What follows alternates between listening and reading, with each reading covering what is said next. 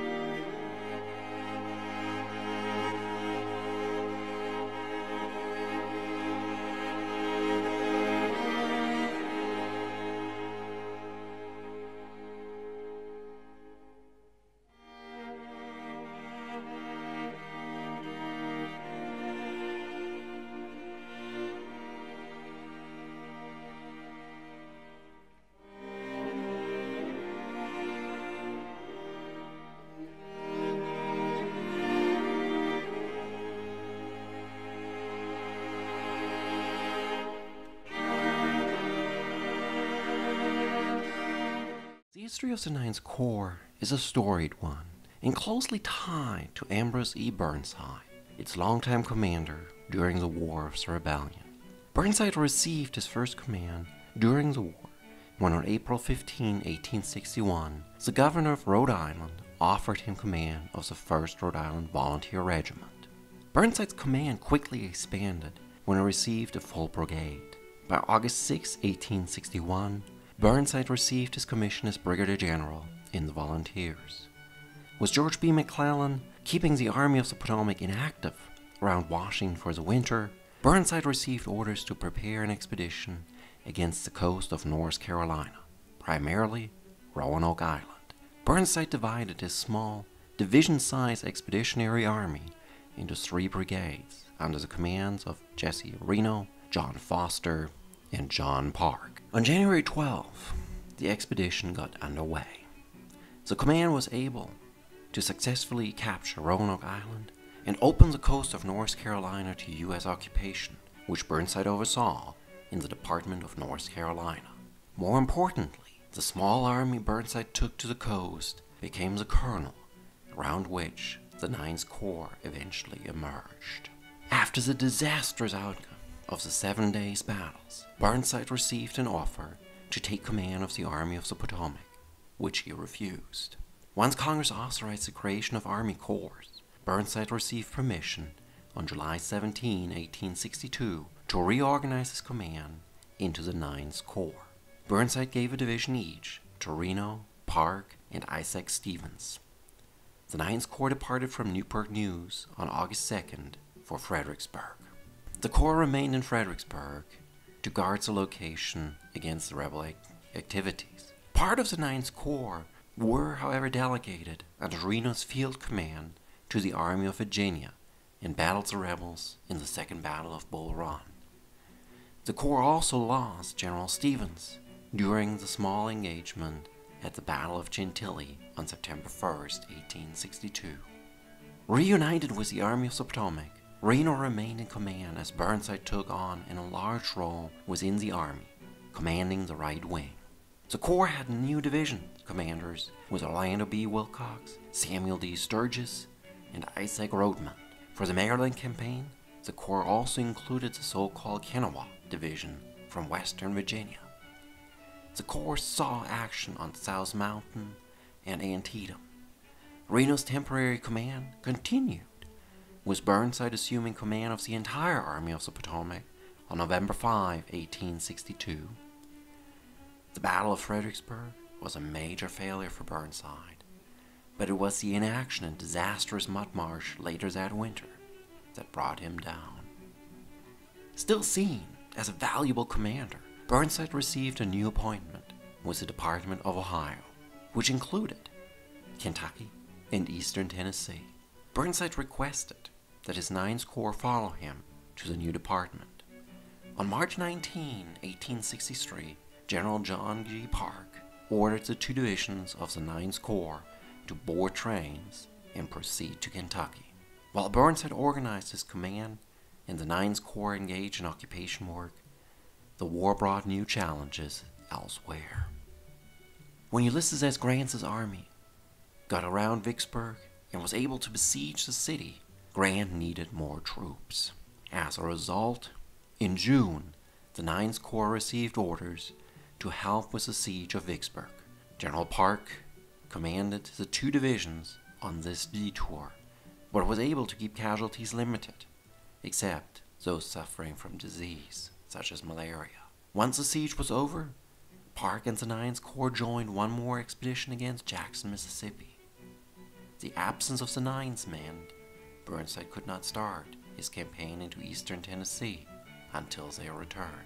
In August 1863, the Corps departed Mississippi by steamer to return to Kentucky for a brief rest before the main campaign against East Tennessee. By now, the once 13,000 man corps was down to only 6,000 men. With Burnside in command of the department and expedition, and Parke serving as his chief of staff, General Robert Potter assumed command of the corps. The little army was rather successful and defeated the enemy forces at Knoxville, which they occupied. The army came under attack by James Longstreet's forces, which besieged Knoxville after the Battle of Chickamauga. However, the rebel defeat at Chattanooga lifted the siege of Knoxville too. Burnside achieved another signature campaign victory with the Ninth Corps. After the actions in East Tennessee, the Ninth Corps was on its last major railroad journey.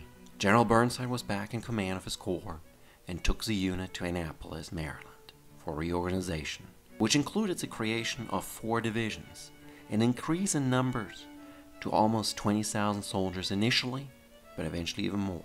One of the divisions in the reorganized Nines was fully composed of African American troops. By May, the Corps had over 30,000 soldiers in its four divisions, spread over 42 regiments and 14 batteries. The Corps was effectively brand new, with many untested regiments and some of the older units filled with raw recruits and conscripts. During the Overland Campaign, Burnside's Ninth Corps was joined to George Gordon Meade's Army of the Potomac, but remained a separate and independent entity. After some issues with miscommunications, Grant convinced Burnside to overlook his superior ranks and accept association with the Army of the Potomac under Meade's command. Burnside and his command did not gain many laurels during the siege of Petersburg. The Corps' main moment of fame arrived with a plan to blow a hole into the rebel lines and have Edward Ferrero's African American division charge the line and hopefully break the enemy lines. The coal miners of the 48th Pennsylvania did an excellent job digging the needed tunnel and placed four tons of gunpowder under the enemy lines.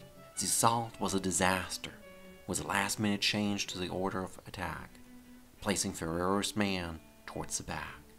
The assault was a disaster, with 470 men killed among the 3,470 casualties of the Battle of the Crater. On August 13, 1864, Burnside departed the war in the Ninth Corps for leave of absence. He never returned. He was replaced by Parke, who together with Willcox commanded the Corps at the Petersburg front for the remainder of the war. Units of the Ninth Corps were eventually among the first to occupy Petersburg. On July 27, 1865, the Ninth Corps was officially disbanded. The Ninth Corps was involved in fighting in many of the theaters of the War of Rebellion, taking part in the campaigns along the North Carolina coast, Proto Ninth Corps, Virginia, East Tennessee, and the Mississippi River Valley Campaign.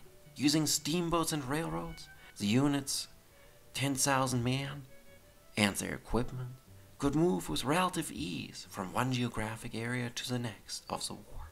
While we always think of the 11th and 12th Corps' emergency move from Virginia to Tennessee, the 9th Corps predates them by a few months. This unit is a great example of the change in mobility in war and how a unit can find in many different theaters of the war thanks to the railroad and other modern means of transportation. Thank you for watching this episode of the War of the Rebellion channel.